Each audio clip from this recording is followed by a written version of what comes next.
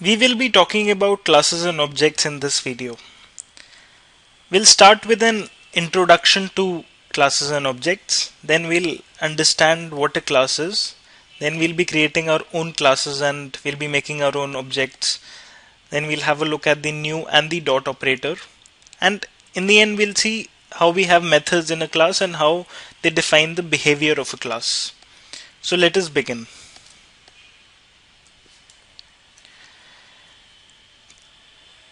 There are three things in front of you. There are three objects. What is one thing common between all of them?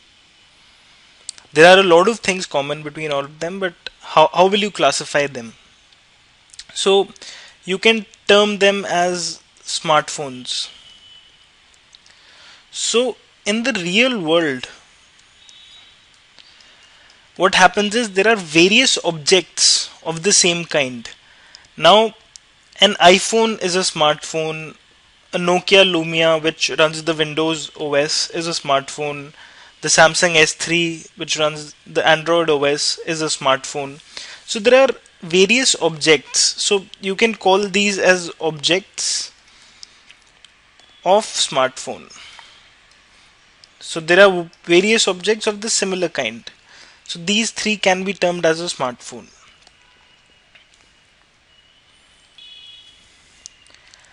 Now we can say that there is a class smartphone and these phones are instances of that class. Now class here kind of stands for a blueprint from which the individual objects are created. So you can say that there is a smartphone class and it can have various kinds of smartphone thousands of smartphones it can has have an iphone it can have a blackberry or anything else so there is a basic blueprint and from this individual objects are created just understand the concept that in the real world there are various objects of similar kind now each phone has some components which categorizes it into a smartphone.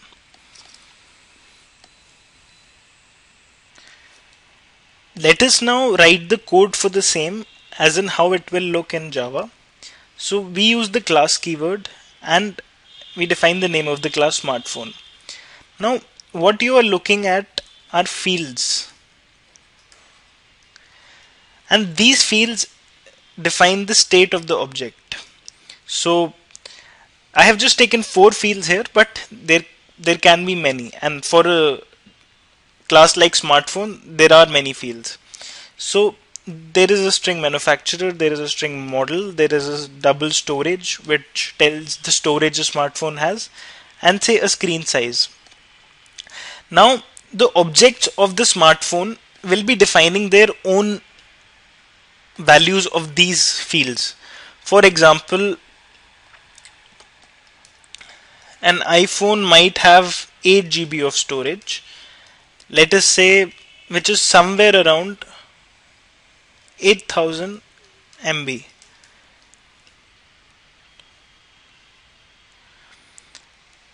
now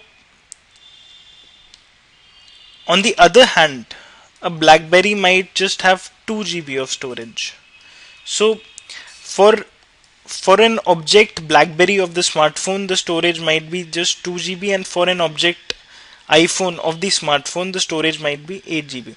So, and for our example, which we'll be taking, let us assume that we'll be assuming storage in MBs. So, these are basically the fields, and these define the state of the object, and they will be different for each object, and they will actually define what an object is.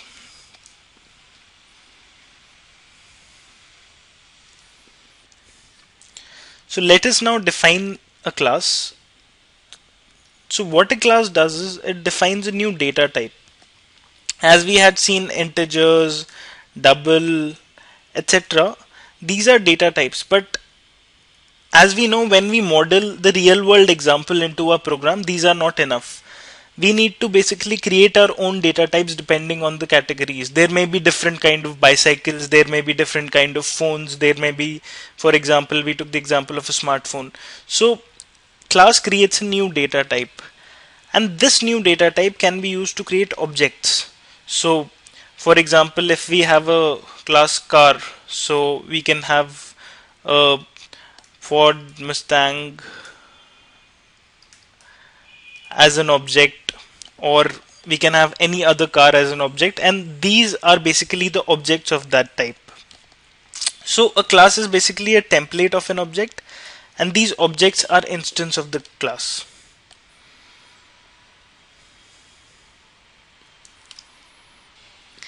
Let us now create another class. Let's call this class as box. Now there can be different objects of the kind box. There can be a magic box. There can be a soap box etc so and we'll be defining three fields. One is length breadth and height. And a magic box can have large amounts of can can be very large. The length breadth and height fields can have very high values. Whereas small box so box can be small. So these are the objects. And each object will have its own set of fields. So magic box will kind of have its set of length breadth and height and soapbox will have its set of length breadth and height. So this is basically these are basically the objects of the class box. But remember when we write this part of the code class box we have created the only template. Now we when we create an object we can have thousands of different boxes or objects. But this part has only created the template as of now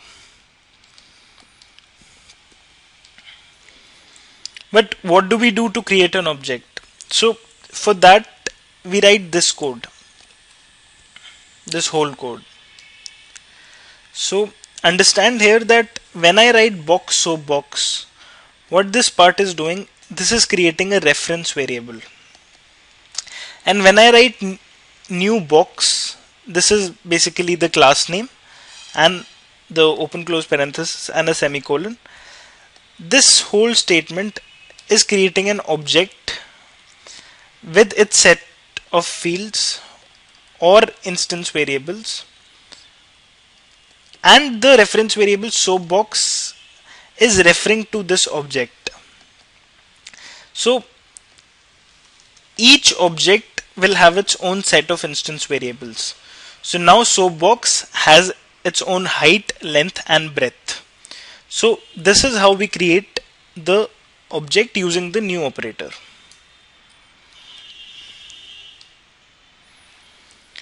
Now what the new operator is doing, it's basically creating a new object and we know that object is an instance of the class. So, but remember class is just the logical framework. Object is the actual physical reality. And this is the syntax of creating a new object. We use the new keyword and uh, we basically write the variable name and we write the class name here. So we have the class name, variable name, new keyword, and again the class name using open close parenthesis. So, and this will basically create the object. Now we want to access the object variables and methods. Suppose we have a soap box and we need to specify the height of it. So we do that using the dot operator. So when we are doing soapbox dot height is equals to 22, the instance variables which soapbox had say this was height it will get the value 22 so that is done using the dot operator and this is how we access the variables. Let's have a quick look at an example where we find the volume of the box. So this is where we created an object and soapbox is referring to that object. Now we basically specify the height width and length of the soap box and once we define the height width and length we are basically multiplying those three and we are finding out the volume. And just remember that each instance variable is accessed using the dot operator Now the important thing to note is that classes need to have both data and behavior. So these are the instance variables and that's the data. But the objects of classes also perform behavior, they interact with the outside world. So for the same we have methods and methods represent the behavior of a class. So but also remember the fact that a method is always invoked relative relative to an object except when it is defined as static which we'll see later. But let us see through an example uh, how methods in a class work and the idea will be more clearer. Now we take the same smartphone example which we took earlier. Consider other fields come here and we have storage and storage is in MBs.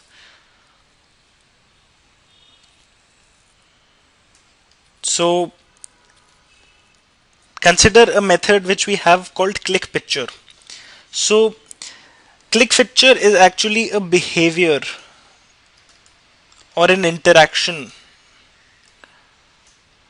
that the object of smartphone will be doing. Now when a picture is clicked the storage is decreasing by 2 MB. So when an object will call this method its storage will decrease by 2 2 MB so this is basically a function in a class and this defines behavior and interaction of the object. For example when you have the dog class now a dog barks or when you have any other class it basically performs a behavior and an interaction so for example, when smartphone click the picture, its storage reduced by 2. And methods basically define behavior and interaction, whereas fields are basically for the store, state of the object. Now let us take our example of the class box and add a method to it. Remember that this time earlier we found out the volume in the main class in the main method. But this time we'll be calculating the volume in the class itself and it will become a method. So each object say magic box or soapbox can basically directly access this method. And when magic box dot volume will be called the method of this particular object associated to that object volume will be called and height length breadth of the magic box will be taken and it will return basically a double value. So when we say double v is equals to magic box dot volume it will basically return me the volume of the magic box when height length and breadth of the magic box are specified. So this is something which is behavior or interaction of the class and this is a method and these are basically the states. Now notice that a method does not need a dot operator to access the fields of a class because this is within the class.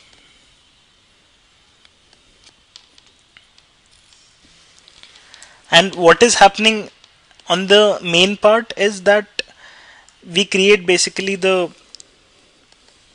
object pencil box or you can call it a soap box or you can call it a magic box. Now this is basically creating a new object of the class box. You are setting the height length and breadth of the same using the dot operator. And when you print the box box dot volume then it is basically calling the method of that class calculating the volume and returning that. So from our earlier example in which we were calculating the volume here, now the volume is basically a method of the class itself.